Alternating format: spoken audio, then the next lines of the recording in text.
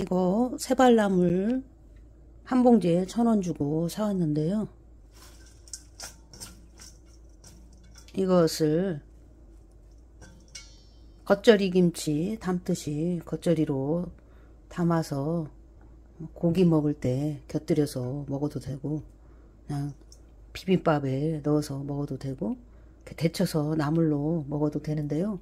저는 오늘은 데쳐서 나물로 무쳐서 먹겠습니다.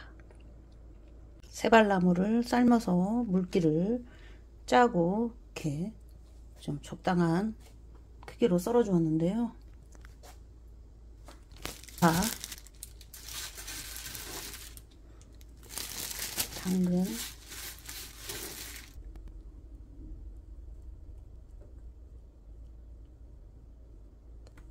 소금 조금, 멸치 액젓, 한 숟가락, 일단 한 숟가락 넣고 간을 본 다음에 싱거우면 더 넣겠습니다. 다진 마늘 조금, 들기름은 두 숟가락 넣어주겠습니다. 깨소금은 이렇게 절구에 좀 빠은 건데요. 수북하게 한 숟가락 넣어 주었습니다. 그럼 버무리겠습니다.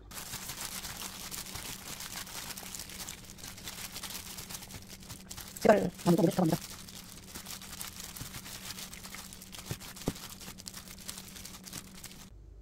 이제 간을 보겠습니다.